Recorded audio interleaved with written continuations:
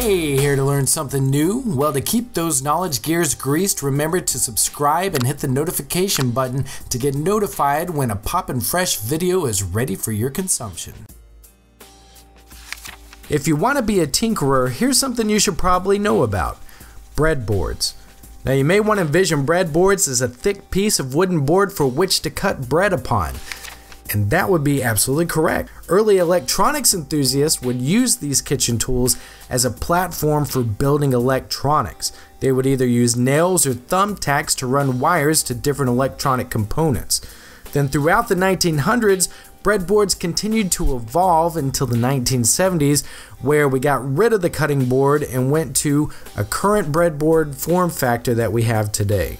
So as I briefly mentioned, the purpose of breadboards is to help in creating circuits. They come in all different shapes and sizes for larger and smaller circuit testing. The most commonly used breadboards look like this. It's known as a solderless breadboard because it doesn't require any solder to connect components together. So how does this piece of plastic full of holes help create circuits? Let's take a closer look. Starting from the outside and working in, most breadboards have two rows of holes that run the entire length of the board, with a colored stripe along either side of them. These are for the power rails that power the breadboard. There's one for a positive and one for a negative current, each denoted by a plus sign in red color for positive and a negative sign in blue or black color for negative.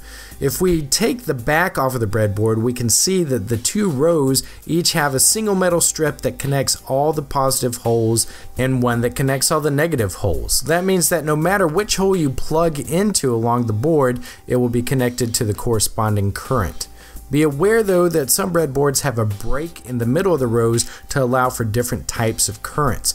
This means that these rows will not be connected to these rows. In order to supply power to the rails, 22 and 23 gauge wires are commonly used because they fit nicely in the holes.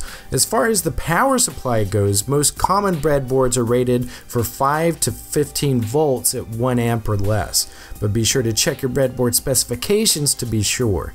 That means don't go plugging a wall outlet into your breadboard because you could do some serious damage to the board and yourself. Starting off, household batteries are a good choice because they have low amperage and it's easy to find cases that will connect them to the breadboards. These inner sets of holes are called terminal strips. While the power rails run the length of the board, the terminal strips are perpendicular to the power rails. Each column of holes is separated from the next column. Again, taking off the back of the breadboard, you can see how the metal strips connect each column of holes. So while these holes are connected to each other, these holes are not. You'll also notice this big split in the board separating it into two equal sides. This is known as a dip support ravine. DIP stands for Dual Inline Package, which is a description for a chip like this that has parallel pins on each side of it. The breadboard is designed so that you can insert the chip with its pins on each side of the DIP support ravine. So this is a DIP chip on a breadboard, while this is a dip and chip on a breadboard. Well, alrighty then, let's test it out. As a simple example, let's do an LED switch, where we have a 9 volt battery with a wire connector, a 470 ohm resistor, an LED, a spare piece of wire, and a button switch. Start by plugging in your power source into the power rails with the ground going to the negative rail and the positive going to the positive rail. Since mine has power rails on both sides, I'm going to have the ground and positive go into separate sides of the board. Let's add the button to the breadboard and just have it sitting across the ravine to make sure the positive and negative legs are completely separated.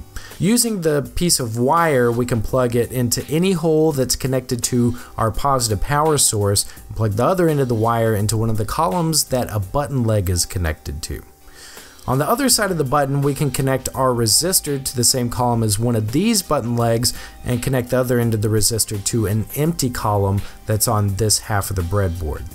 Next, we can connect the positive leg of the LED to this resistor row and the negative side to the ground power source. How do you know which leg of the LED is positive and which one is negative? The shorter one is negative and the longer one is positive. Now the LED should also have a side that is more flat than the other side, so this also denotes the ground side. I remember it by saying that the side of the LED that has been ground down is the ground side. With everything connected, press the button and see if it lights up. And now you can do a little dance because you just created your first breadboard circuit.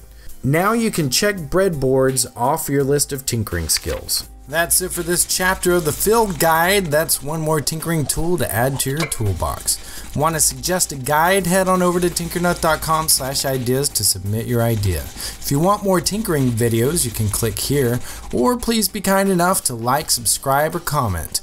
If you made it this far, here's your reward.